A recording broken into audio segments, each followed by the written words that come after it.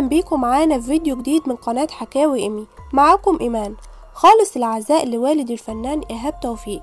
أصابت فيلا الفنان إيهاب توفيق بحريق هائل صباح اليوم. بدأت في الدور الأول الموجود فيه والد الفنان. نتيجة ماس كهربائي بسبب اشتعال دفاية كهربائية. أدت لنيران قوية جدا. لكنه للأسف رجل كبير في السن ولا يستطيع الحركة بشكل سريع. وفي الوقت ده حاول إيهاب كسر الباب. وللأسف بعد فوات الأوان. كان والده توفى مخنوق بسبب الدخان.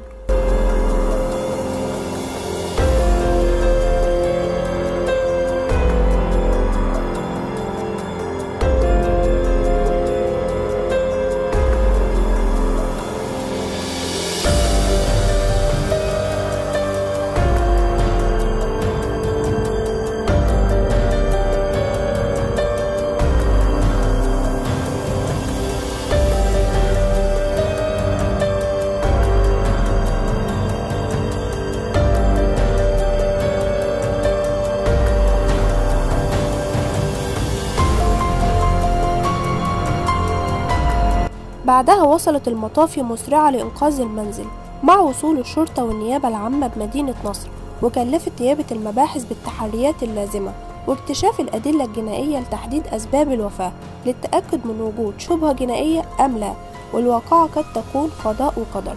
وأكد الدكتور محمود عادل ابن عم الفنان إيهاب توفيق إنه سيتم تشييع الجنازة من مسجد السلام بمدينة نصر بعد صلاة العصر. ودي كانت آخر صورة تم تداولها لوالد الفنان إيهاب توفيق.